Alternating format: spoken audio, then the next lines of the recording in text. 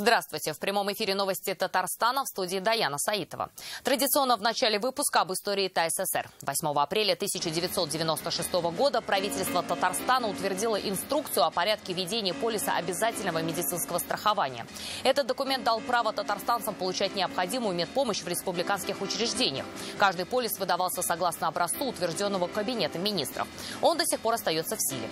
В этот день, в 2001 году, в Казани завершился первый международный конкурс молодых артистов балета. Его участниками стали 70 танцоров из 10 стран, артисты балета и учащиеся хореографических школ от 18 до 25 лет.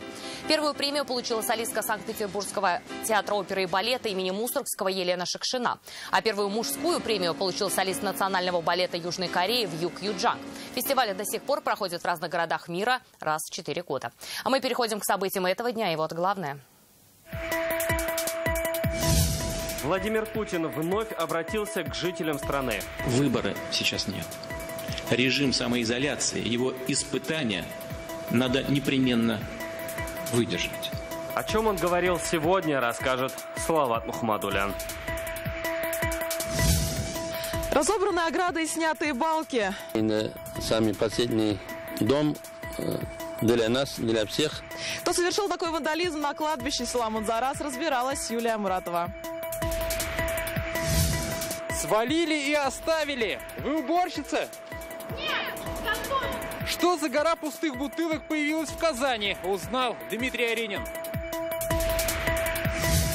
на долгую службу. Данная техника оснащена рукавами двух видов. Татарстанским пожарным вручили новый автотранспорт. Какой он и куда направится, узнал Рамиль Шайдулин. Они спешат на помощь на своем автомобиле. Я решил сидеть не дома, приезжать каждый день из Арска, помогать пожилым людям доставлять продукты. Почему автоволонтеры не считают намотанные километры и потраченный бензин? Узнала Вероника Гайнудинова. В Татарстане выздоровели еще два пациента, зараженных ранее коронавирусом. В общей сложности от болезни излечились 10 человек. Новых случаев заболевания в республике за минувшие сутки не выявлено. Всего в Татарстане был зарегистрирован 41 факт заражения. В России за сутки подтверждено 1175 новых случаев. В стране на этот день 8672 заболевших. В мире пандемия охватила 1 миллион 400 тысяч человек. 83 тысячи скончались. Выбора сейчас нет. Режим самоизоляции, его испытания надо непременно выдержать. Так сегодня Владимир Путин вновь обратился к жителям страны. Президент выступил в начале онлайн-совещания с правительством и губернаторами по ситуации с коронавирусом.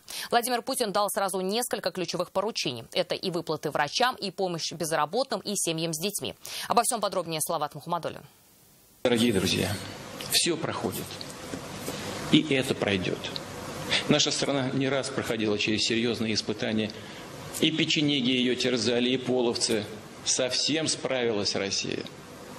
Победим и эту заразу, коронавирусную. Вместе мы все преодолеем. Владимир Путин уже в третий раз сделал обращение по ситуации с коронавирусом. Президент принял решение о дополнительных мерах поддержки. Первое. Выплаты в течение трех месяцев врачам, работающим с больными коронавирусом. Для врачей, непосредственно работающих с пациентами, заболевшими коронавирусной инфекцией, такая доплата составит 80 тысяч рублей в месяц.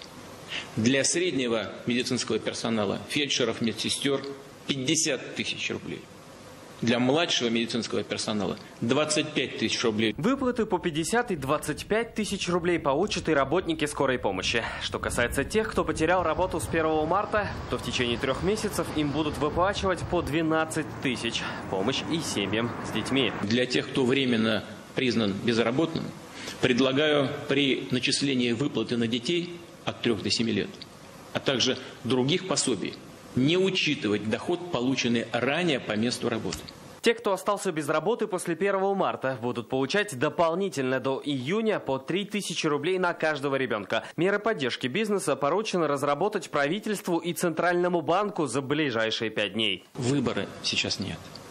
Режим самоизоляции, его испытания надо непременно выдержать. От нашей дисциплины и ответственности зависит тот перелом в борьбе с инфекцией, которого мы обязаны достичь. На связи с Владимиром Путиным были руководители всех регионов. Слушал его и Рустам Миниханов. Глава государства поручил регионам разработать меры, чтобы предприятия аккуратно возвращались к работе. Салават Мухаммадулин, ТНВ, Казань. Сразу после совещания Рустам Миниханов посетил республиканскую инфекционную больницу. Здесь он поговорил с врачами, которые сейчас находятся в самом центре борьбы с вирусом.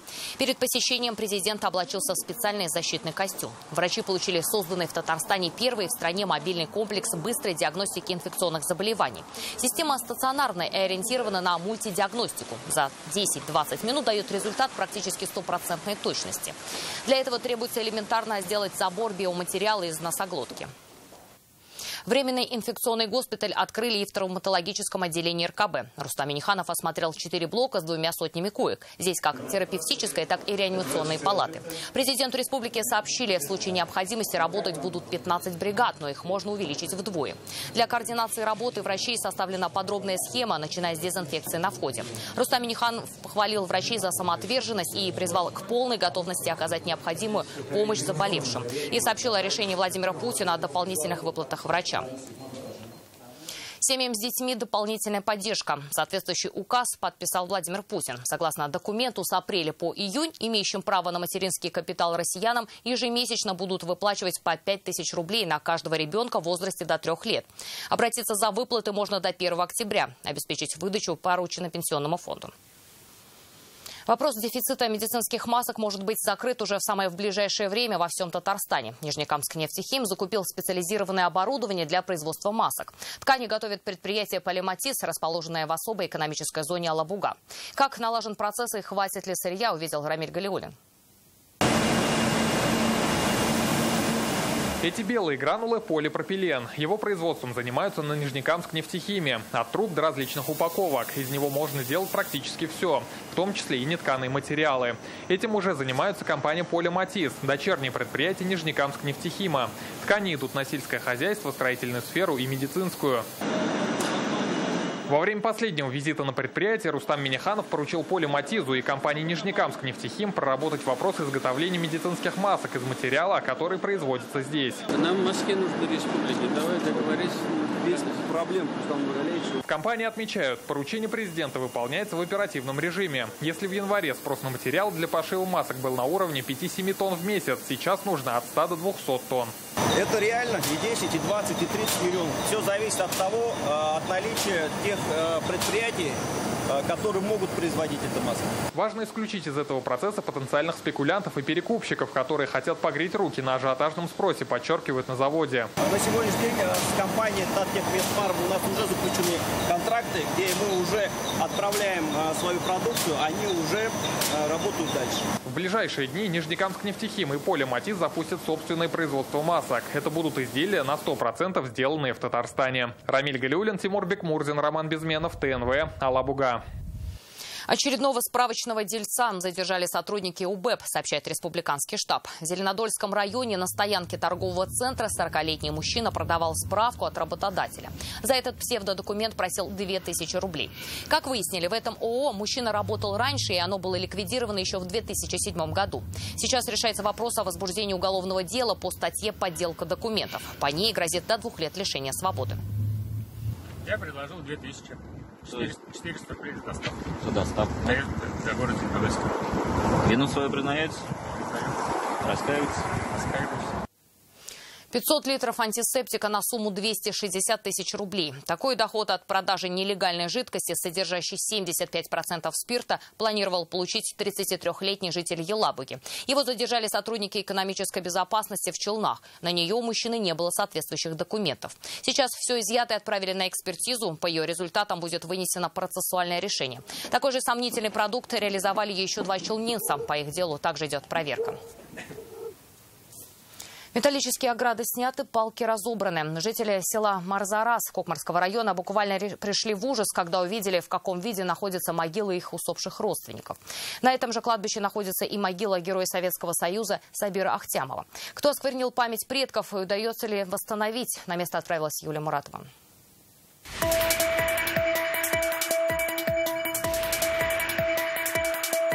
Все вот эти ограды разобраны были и раскинуты. Эти кадры снял один из жителей села Марзарас. Придя на кладбище, он не узнал могилу своего умершего родственника и нескольких соседних захоронений. Металлические ограды кто-то разобрал по частям. По словам местных жителей, здесь было разобрано около 10 металлических конструкций. Некоторые стояли рядами, некоторые вовсе валялись рядом. Например, этой могилы вандалы сняли ограду с кирпичей и разобрали также внутренние балки. По словам смотрителя кладбища, такое он не видел никогда. Как узнал о случившемся, тут же сообщил родственникам усопших. Они уже своими силами вернули надгробием прежний вид. Посмотрел, там такая ситуация здесь. Вот потом уже милиция там и прочее начали разборка. Об акте вандализма тут же сообщили в полицию. Сначала полагали, что вандалам понадобился металлолом, но с кладбища ничего не пропало. Местный мула назвал это настоящим осквернением памяти ушедших. Кладбище и самый последний дом для нас, для всех. У нас вообще очень чистое и облагороженное кладбище. Вы сами видите. И вчера это был какой-то нонсенс. Но полиция быстро отреагировала. По отпечаткам пальцев подозреваемого нашли быстро. Им оказался 47-летний мужчина, местный житель. Недавно его выписали из психиатрической больницы. Теперь его ждет очередная медицинская экспертиза. Данное преступление считается резонансом для сельской местности. Поэтому сотрудники, отработав на месте происшествия, в настоящее время установили предполагаемого э, лицо, которое совершил данное деяние. Подозреваемый в зависимости, я думаю, будут проводиться психиатрические экспертизы в зависимости от этого, там, вплоть до принятых э, мер э, медицинского характера. На этом кладбище похоронены герой Советского Союза Сабир Ахтямов. Его могила, к счастью, осталась нетронута. Юлия Муратова, Алмаз Единов, ТНВ, Кукмарский район. Судебные решения и паспортные данные жителей Казани оказались на свалке. На улице Камиля Якуба экологи нашли выброшенные архивные документы крупного российского банка. По словам местных жителей, три недели назад бумаги привезли сюда на «Газели». Все это время они лежали в открытом доступе вдоль гаражей. Площадь несанкционированной свалки больше 100 квадратных метров. Сейчас по факту уничтожения документов недолжным образом заведено административное дело. Виновнику грозит штраф от 100 до 250 тысяч рублей. Возможно, кредитной организации грозит еще одно дело за нарушение закона об обработке персональных данных. Минут пять приехала белая машина, крытый. Вот уехали, сами тоже через пять минут, наверное, видели через окно только. Номер тоже не знаю. Было установлено, что данные отходы, документы принадлежат российскому банку. На сегодняшний день идет расследование для установления виновного лица для привлечения к административной ответственности и, естественно, ликвидации данной свалки. Помогите. Огромная гора битых бутылок рядом с жилыми домами, где бегают дети и могут порезаться. С таким призывом о помощи в нашу редакцию обратились и жители Казани. Наша съемочная группа выехала по этому адресу на улицу Гвардейской и действительно увидела свалку стеклотары высотой в несколько метров. Кто этот царь горы и что ему грозит, узнавал Дмитрий Аринин.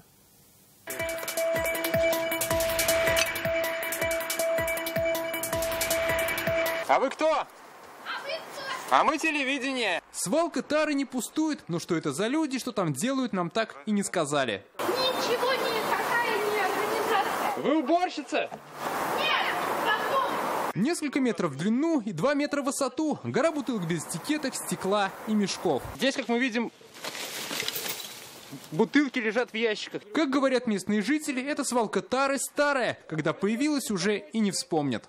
Почти год, наверное. Но здесь все заграждено было, вот недавно только все убрали. Да, некрасиво, конечно, все это выглядит. Уже давно, года два, наверное. Года два? Возможно. Но я подавал, кстати, в этот народный контроль. Угу. Вот. И? И отписались то, что будут делать. По нашей просьбе на это место сегодня приехали инспекторы Министерства экологии. Они обошли всю территорию. По соседству сетевой магазин, склады, автосервисы. Тут есть кто-нибудь? Все, кого сегодня увидели, сказали, что не знают, чьи это бутылки. Нарушение серьезное констатируют в Минэкологии. По административному кодексу юрлицам грозит штраф от 100 тысяч рублей. Предстоит установить владельца стеклотары и этого земельного участка. Бутылки, у них очень долгий срок э, разложения, там более, более 200 лет. Поэтому, естественно, это грубое нарушение, это не должно быть такого. Я думаю, что когда мы установим правообладателя, в кратчайшие сроки данное нарушение будет ликвидировано. Ликвидацией свалки заняться должен как раз-таки ее виновник. В эти дни в республике как раз стартует санитарный экологический двухмесячник. Рассказать о свалках мусора можно по телефону горячей линии. Дмитрий Аринин, Азат Самигулин, ТНВ, Казань. Сообщение о свалке высотой в два этажа мы получили на наш WhatsApp. Его номер 8 987 420 01 01. Сообщение принимаем круглосуточно. Ваши новости, присланные фото и видео, могут стать репортажами в наших выпусках. Это новости Татарстана и смотрите далее. Они спешат на помощь на своем автомобиле. Я решил сидеть не дома, приезжать каждый день из Арска, помогать пожилым людям доставлять продукты. Почему автоволонтеры не считают намотанные километры и потраченный бензин? Узнала Вероника Гайнудинова. Особый режим он и для питомцев особый. Я мою с мылом, так же, как и себе руки, поскольку наши питомцы, как наши дети. Страшен ли собакам и кошкам коронавирус и как пытаются их защитить хозяева, расскажет Алия Хайрудинова.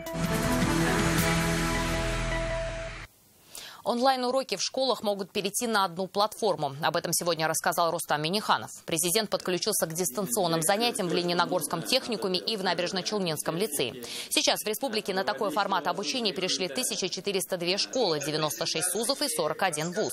Сегодня преподаватели попросили обратить внимание на качество интернета. Рустам Миниханов заверил, что операторы уже работают над этим.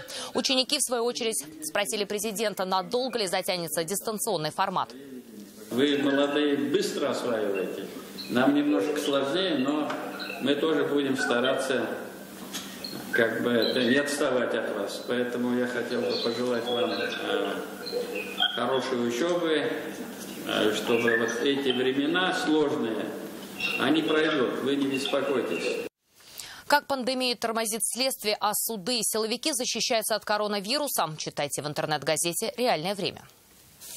Они спешат на помощь на своем автомобиле. Доставлять продукты и лекарства пожилым на самоизоляции взялись автоволонтеры. Раньше добровольцам приходилось ездить на такси, а сейчас они могут помочь пенсионерам даже из ближайших городов и районов. А те, кто ради доброго дела не считает километры, расскажет Вероника Ганудинова. Куда едем? Профессиональный спасатель на воде Амир Мамин после ночной смены снова помогает людям, только на суше. Уже неделю на своей машине развозит продукты пожилым на самоизоляции. Волонтер он начинающий, но говорит, сложное время, не жаль ни время, ни машину, ни бензин. Это надо сердцем прочувствовать, что ты полезен другим людям. Наверное, вот этот вот аспект самый сильный мотиватор. Он гораздо сильнее материальной мотивации. Заявки от пожилых разные. Автоволонтеры выполнят любую. Доедут и до определенной аптеки, и в магазин не тот, что поближе, а тот, который нужен. Угу. Так, руки обрабатываем или? Безопасность для пожилых – главное у волонтеров. Перед выездом измерение температуры, после всегда маски, перчатки, обработка антисептиком. Большое спасибо за терпение, за заботу о нас. Очень приятно. На одну такую заявку уходит до полутора часов времени, а заказов волонтеров в день как минимум пять. Получается полноценный рабочий день. Но такой график не пугает волонтеров. Только в Казани добровольцев на машине больше 40, по республике около 100. Предприниматель Руслан Аглиев приезжает помочь пенсионерам специально из Арска. Я решил вот так, как будто я вышел на месяц в отпуск. Вышел в отпуск просто, а дома сидеть, как бы заниматься своим делом я не хочу. До этого мы все это делали уже на такси. И когда у нас появились эти замечательные люди в виде волонтеров на автомобиле, стало все гораздо удобнее и легче, потому что мы понимали, что в этой машине можно оставить продукты, зайти в аптеку, взять, и еще можно зайти, а, получается, уже в больницу, взять рецепт. Сегодня продукты и лекарства из Казани пожилым привозят даже в Зеленодольск, Высокую гору и Арск. Кстати, автоволонтеры после смен довезут до дома и врачей. Вероника Гайнудинова, Рамзель Гарипов, ТНВ, Казань. Мы еще раз напоминаем, пожилым в период пандемии нужно оставаться дома. Особо осторожными в эти дни нужно быть людям с хроническими заболеваниями.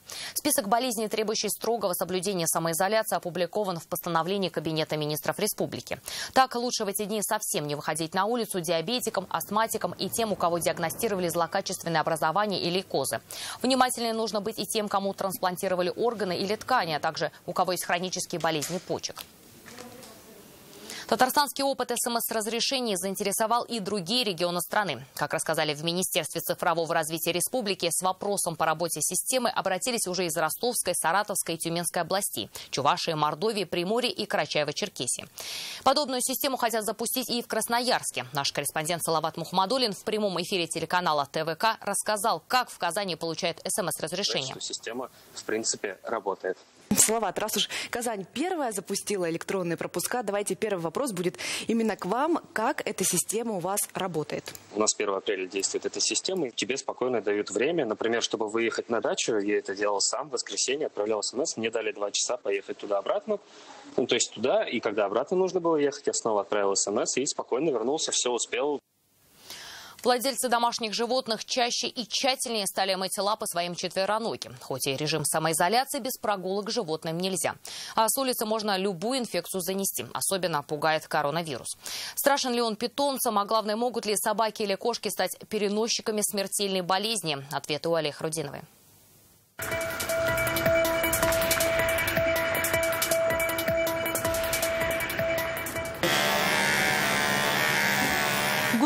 Шерстку веслоухого барсика сбривают, на лапку устанавливают катетер. В последние дни кот стал вялым, перестал кушать. И только УЗИ показала, вместо колбаски барсик съел мелкую игрушку. И теперь его готовят к операции. И таких, как Барсик, много. Вот Муся только отходит от наркоза. Ветклиники из-за коронавируса пока принимают только экстренных пациентов. Врачи заявляют, ни кошки, ни собаки не могут быть переносчиками вируса. А вот заразиться им от человека могут. Возможно гипотетическая передача от человека к кошке или собаке но не наоборот. Если человек все-таки заболел новой коронавирусной инфекцией, он должен оградить себя от своих домашних питомцев. Голос! Голос! А это Ора, привыкшая гулять со своей хозяйкой по 5 часов в день, сейчас осваивает новый режим. Прогулки теперь только рядом с домом и всего 2 часа. Соседям на прокат для прогулок собаку не дают. Чтобы хоть как-то развеселить любимца, у Дарьи и игрушки с собой, и лакомство найдется. Да и гигиену усилили. Сейчас моем антибактериальным мылом. Я протираю подушечки водкой, например, потому что средств у нас антисептических, как все знают, не хватает. Лапу дашь? Лапу дай? Лапу дай мне.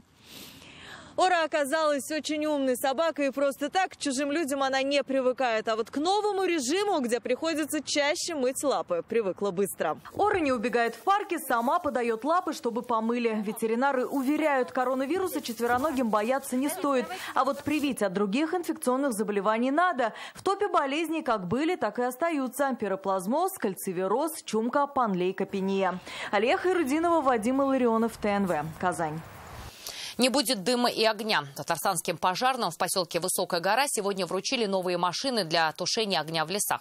Техника также позволит не допускать возгораний. Машины отправятся в самые отдаленные лесные станции, чтобы контролировать ситуацию. Они закуплены по федеральному проекту сохранения лесов, которые входят в национальный проект «Экология». В деталях рассмотрел транспорт Рамиш Айдулин.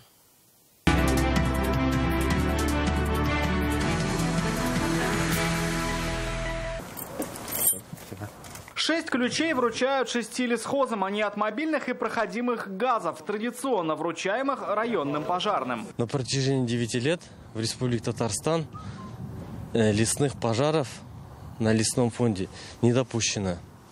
Ну, данная техника как раз будет подспорьем для сохранения пожарной обстановкой. Эти машины практически те же, что уже стоят на вооружении пожарных, но не везде. На отдаленных станциях еще был старый транспорт. Отличительная особенность нового в его больших колесах, чтобы проехать по любому бездорожью. Как вы сами видите, уже сейчас на данный момент в лесу трава очень сухая, и это, предо... и это дает возможность быстрого возгорания лесов.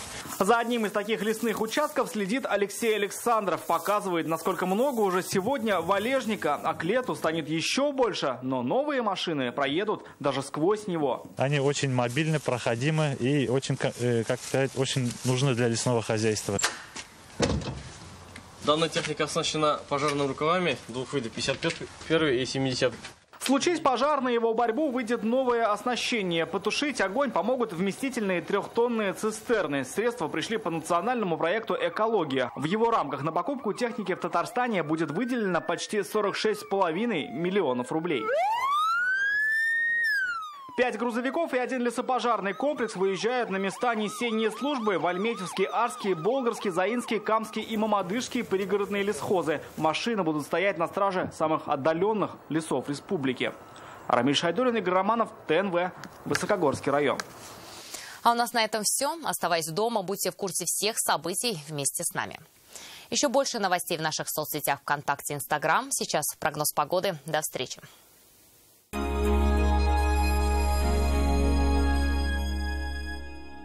Агрофирма Атабаевская реализует суточный гусят и утят. Яйца гусиные и утиные. Недорого и с доставкой. Телефон в Казани 212 11 53. Внимание, акция! Уничтожь колорадского жука и получи подарок. Акция «Карада плюс подарок». Журнал «Теле7». Каждую среду свежие эмоции.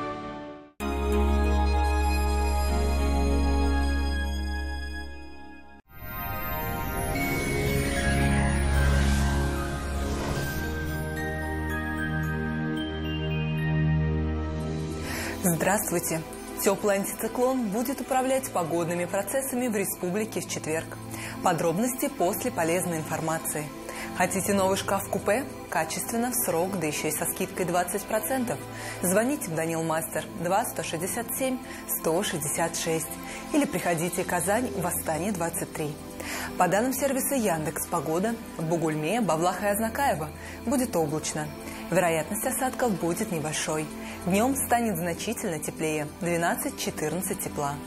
В набережных Челнах, Нижнекамске и Елабуге, несмотря на облачность, температуры начнут повышаться. Осадки не ожидаются – плюс 15. В Агрызе, Менделеевске и Актаныше ожидается облачная погода. Без осадков, очень тепло – плюс 14.